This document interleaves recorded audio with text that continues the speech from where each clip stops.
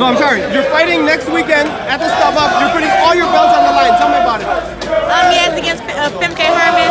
I don't know where she's from, but um, she's 9 and 1, the uh, WBO super middleweight champion. Um, it's a quick turnaround from my last fight, but I was in camp for a week, so why not? And your I- face is good. You're healthy. You look on weight already. yeah, I'm already on weight. I'm all good, so I'm just, so the only, thing, all- the only thing I need is the fight to get here. Adrian Broner, Manny Pacquiao. Adrian Broner can win. He just got to punch. Right now, I think that Pacquiao, was years ago, I would have said Pacquiao hands down.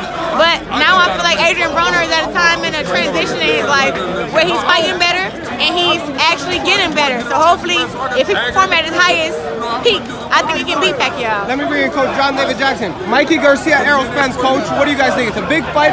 Mikey's gonna be here tonight. Errol's gonna be here tonight. I, I had just said, Errol Spence, the size difference is one thing, but then I think that Mikey Garcia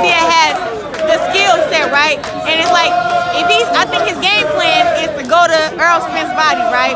But it's like, yeah, yeah, you can go to the body, but can you handle what he's going to deliver back? I think, I think, I think Errol's too big. Too big. Punch too hard. Should be a good fight, but I think Errol has too much strength, too much power. I think it's gonna be a war. It's gonna be a war, but I think I think Errol Spence will get it. You sparred Errol. Did you know that, Coach? Didn't know that. Yeah. Tell him about the sparring. You, She'll Earl anybody. She'll anybody. Errol told me she was trying to hurt him. She was really trying to knock him out. That's what he said. You, No, no, no. But I, but I couldn't. I was 17. I mean, he was strong as a strong as a damn um, bull. I mean, he's so strong, it's ridiculous. I can't imagine how strong he is now, but I bet he don't matter how strong I am either.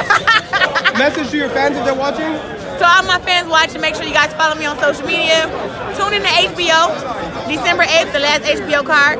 Um, I'll be fighting as a, as a TV opener. My last question, Coach. Mayweather, Floyd Mayweather might go to Japan to do a nine-minute exhibition against a kickboxer. Any dangers in that at all? I doubt it. Not for Floyd. You know, he, the rules can be set the way he wants them. So, No hey, kicking. if he can make the money, do what you can do. It.